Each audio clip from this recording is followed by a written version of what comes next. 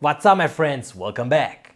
So I have a new project for you guys. Actually this is like an update video about the ESC board that we have seen in a previous project because right now I have this new version.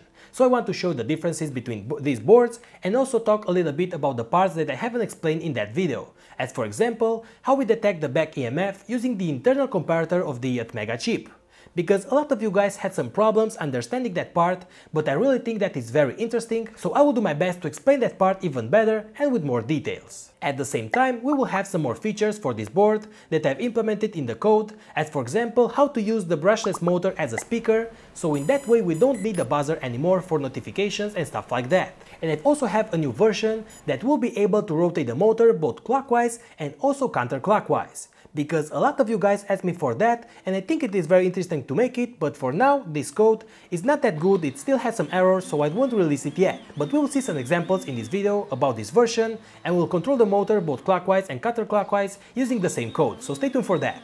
Okay guys, but the most important part for this video is this new PCB. So I want to show you how I've made the PCB smaller and why I removed some components from the older version that weren't so important, and also show how the PCB works. So for that we'll do some tests, and I'll try to show you the maximum speed and also the current ratings.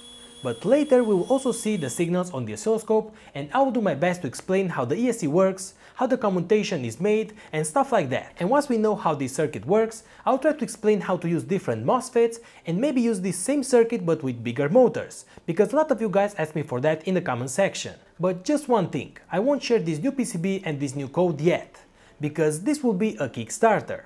But don't worry, I'm still sharing the schematic, the code and the old version of the PCB and you will have links for that below, in case that you want to order all the components and make the same PCB.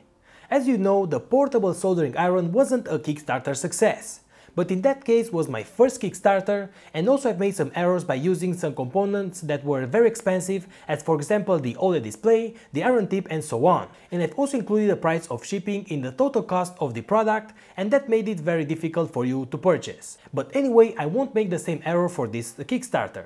In this case the board is very small, it has fewer components and I will be able to also order some pick and place and that way I'll have the PCB already mounted with all the components soldered and all I have to do is to receive the new board, solder some wires from the input and the output, upload the new code and ship that to you guys and it will be ready for tests. So please comment below this video if you would like the idea of a Kickstarter about this PCB and do that after you watch this entire video, because in that way you will know how this PCB works and how the PCB performs. So stay tuned for this Kickstarter and don't worry, I will announce this on the community tab of YouTube, on Facebook, Instagram and more. Okay guys, so let's see this new PCB for the new ESC. But before we start, make sure that you hit the subscribe button and also the notification bell. In this way you won't miss any of my future videos. Also, a huge thank you to all my patrons for supporting my work. And if you'd like to be a patron of mine as well, you will have links for that below this video. So guys, let's get started.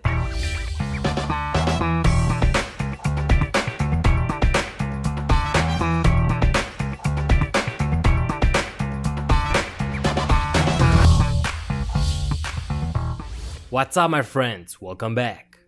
Here I have the new PCB that I've designed for this ESC, which stands for Electronic Speed Controller. This device is used to control a triple phase brushless motor like these ones that are usually used for RC toys, for drones, electric bikes and so on. What's special about this ESC is that it's based on Arduino and it is open source. So you could get the code and the schematic and make one yourself or even improve the design. I recommend you to watch the previous videos as well, in order to understand more. In this video, I will explain the parts I haven't explained in the last video about this open source ESC, and I hope you'll learn a few new things.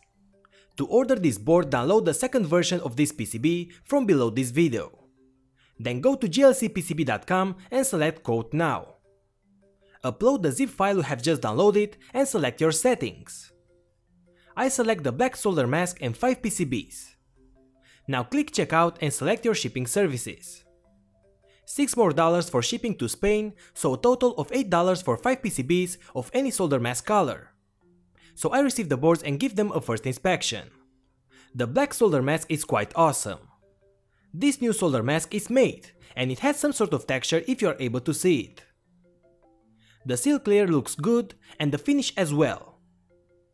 I have a lot of exposed tracks and pads, so my PCB has a lot of shiny parts. So once again thanks to JLC PCB for sponsoring this video. If you want to make your own PCB, consider using the services from JLC PCB for only $2. So guys, let's first see the physical differences of this new board. First of all, as you can see, the board is way smaller. The area is 38% smaller. The old PCB having 2156 square millimeters and the new one only 1331 square millimeters. I've also removed the output pads here, the A, B and C, and now the output wires are soldered directly to the drain of the pads of the MOSFET, and that will make the board even more compact. Also, as you can see, the main power tracks are now exposed. If we don't apply a solder mask on top of the tracks, I can fill this with solder and by that it could withstand more current even if the track is not too thick. As you can see below of the solder mask of this old PCB, the main power track of this one was 4mm.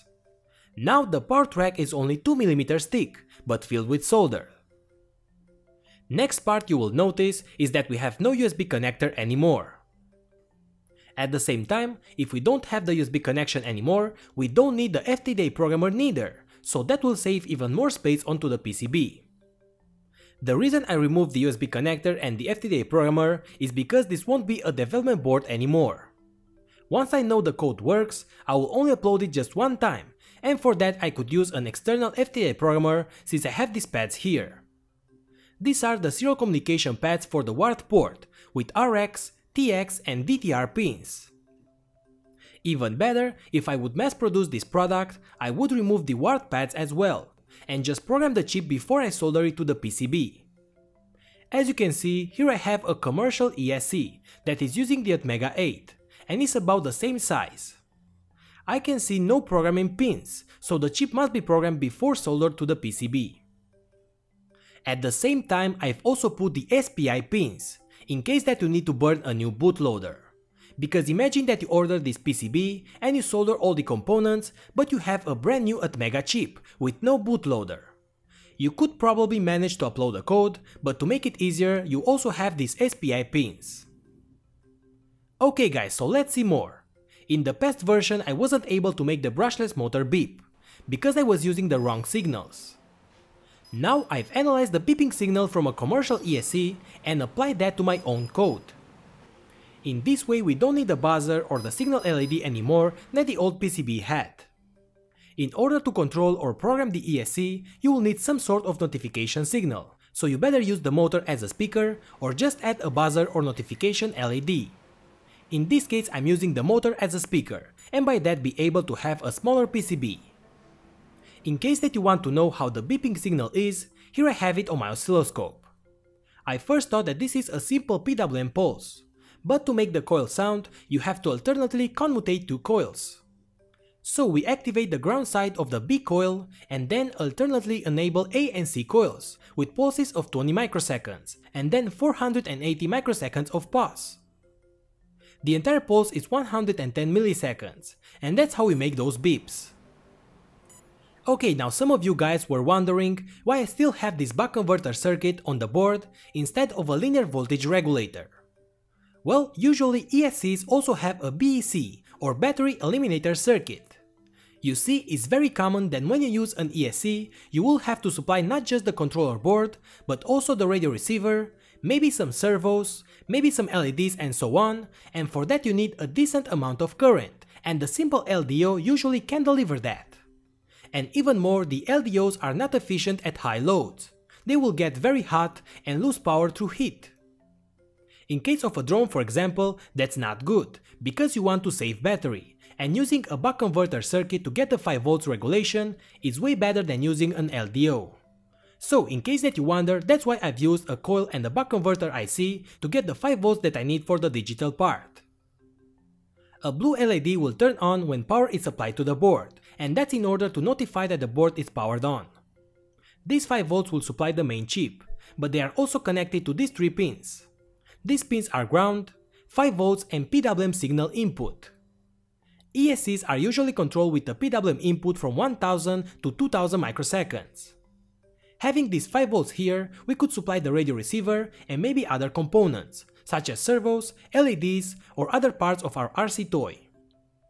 Now ESCs are commutating a lot with high current, and that might create some voltage drops at the input.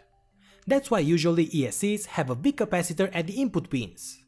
So I've soldered a 1 farad capacitor here with the help of some solid wire. So that's pretty much with the board design. Now let's make some tests. I upload the one direction code using the FTDI programmer. Now I remove the programmer wires and then I connect the receiver to the PWM pins of the throttle channel. When you power this up if throttle is minimum, the ESC will start in normal mode and you will hear the welcome beeps. If you don't increase throttle for a few seconds, you will get the standby beeps.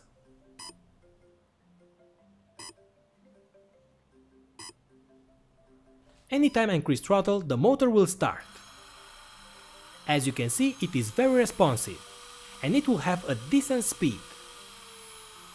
So the control works quite good. If you want to define the PWM input range, you have to put throttle to maximum before you supply the ESC. Now I supply the ESC and you'll hear a faster beeping, and that means that you are into range configuration mode. Now lower throttle to the minimum value and the new range will be saved to the EEPROM of the microcontroller, so you only have to make this just one time. Now let's see the maximum speed.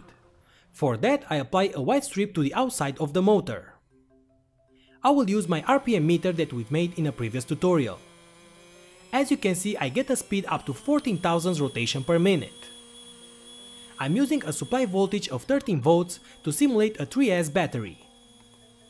This board could work up to 4S batteries, but I haven't made too much tests with that. I now increase the voltage up to 19 volts and it could reach up to 20,000 rotation per minute.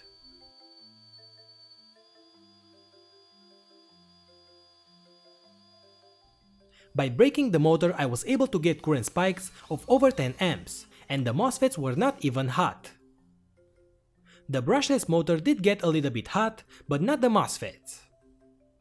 The N-channel MOSFETs that I'm using are the IRL R7843, and these are rated to 30 volts and 113 amps continuous.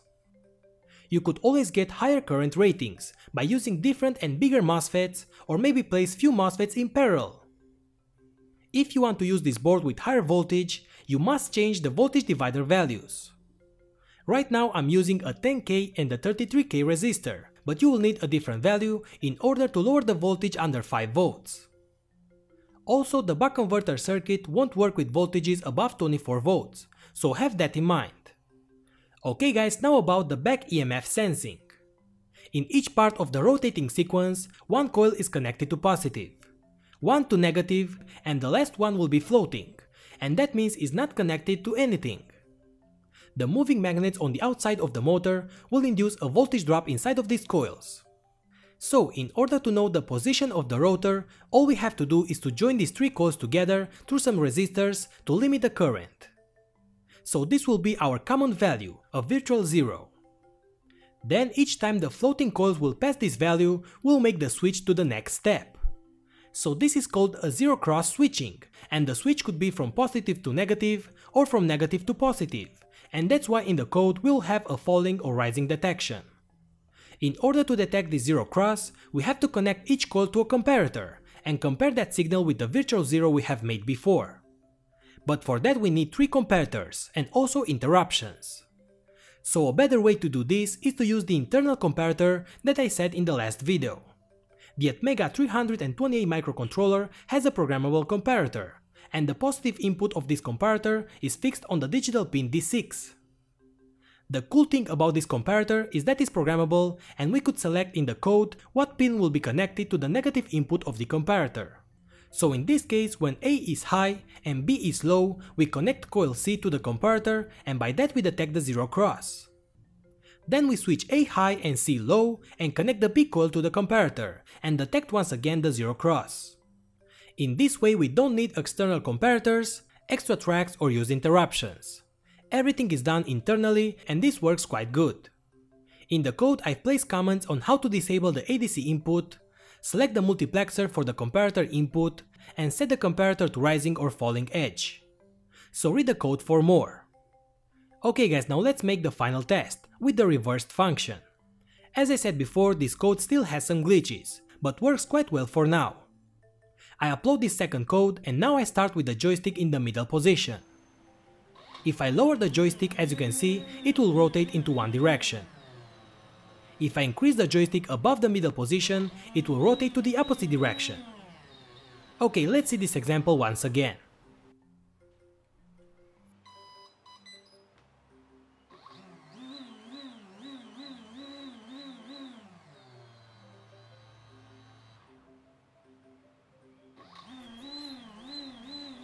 Okay guys, so have in mind that the control resolution in this case is lower, because we are using the same PWM signal for forward or backwards rotations. We can still program the limits of the signal with this code, and the beeps are also working. I'll try to improve this code the best that I can, and share that with you so you could use it for your projects. So guys, that's the update of this board. Stay tuned for the Kickstarter, I hope I will be able to make that as soon as possible and you will be able to order the board or probably the ESC already mounted. Leave a comment below if you are interested into buying this board and using this you will learn Arduino programming. You would receive the board, the code, the schematic and also a video with all the steps that you need to make this. So guys, I hope that you learned something new about ESCs.